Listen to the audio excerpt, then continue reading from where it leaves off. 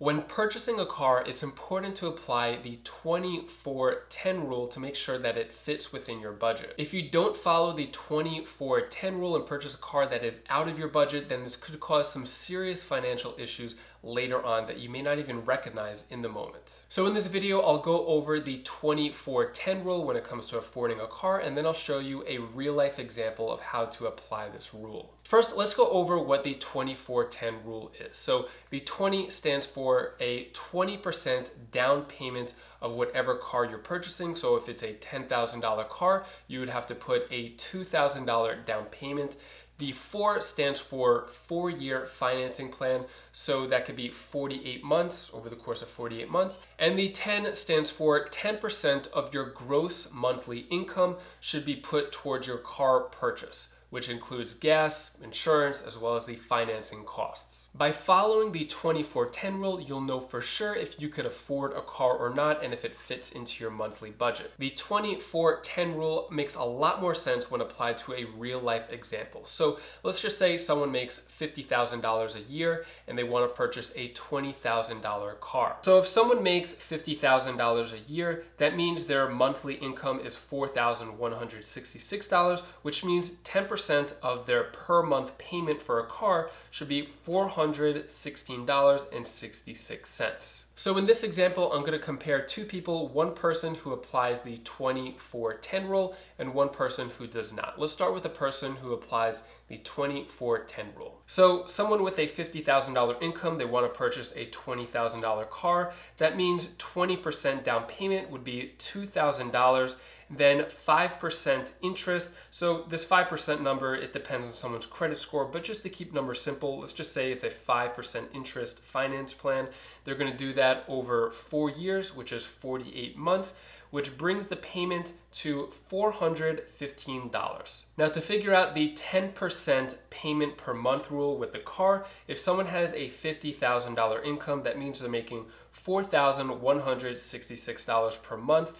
And if that was 10% of that, that would be $416.66 is how much the car payment should be per month. So with this example, the $415 per month payment with the $20,000 car, it is slightly under that 10% budget, but this doesn't account for gas, insurance, as well as other car payments. And with this first example, a person would pay $1,897 in interest over the course of four years. Now for the second example, someone with a $50,000 income also wants to buy a $20,000 car. They're not gonna follow that 20% down payment rule, so they're gonna put 0% down payment, so it's zero dollars. They're gonna have an interest rate of 5%, so it's gonna be 5% of that full $20,000, and that's gonna be over the course of five years. They decided to do a 60 month plan.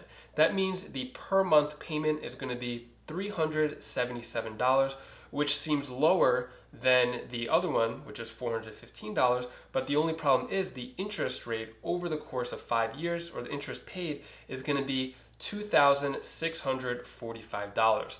So with this second example, it's gonna, the interest difference, they're gonna pay an extra $1,499.75 in interest. That's an extra $1,500 out of their pocket that's to rob their future. When comparing the numbers month to month, it may not seem like that much of a dollar difference, but to pay an extra $1,500 in interest when you don't have to, you could use that $1,500 for a lot of other things with regards to the car. That could cover gas for a year, that could cover insurance, that could cover so many other things. $1,500 lost is not something to take lightly. Also, let's keep in mind, these are pretty conservative numbers. Someone with a $50,000 income who wants to buy a $20,000 car, it's usually someone with a $50,000 income wants to buy a $30 or $40,000 car, which over the long term really eats away at not only their monthly payments and budget, but interest paid over time. By the way, I'm David, and if you want wise money tips to build a wealthy future, subscribe to the channel for more videos like this. And if you appreciate the energy, and effort that goes into making a video like this, hit the like button. Now, when it comes to purchasing a car, the 24-10 rule is great to figure out what's in your budget,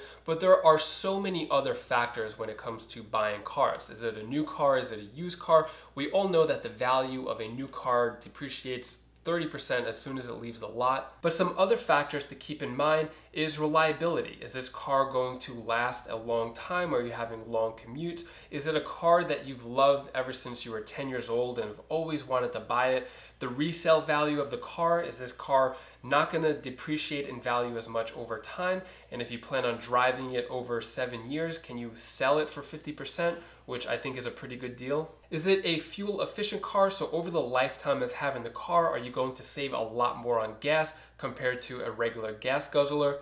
So these are some other factors that go into buying a car that you can't really quantify into numbers according to a budget. So my point is that the 24-10 rule doesn't apply to every single car purchase you're gonna make. There are some other factors that come into play but it does serve as a good guideline to figure out what type of car you could afford according to your budget. And if you wanted to figure out what type of budget fits your needs, I highly recommend the 50, 30, 20 budget. You could click this video right over here. It goes more in detail of how to figure out your 50, 30, 20 budget. So you could click that video right now and I'll see you in the next video.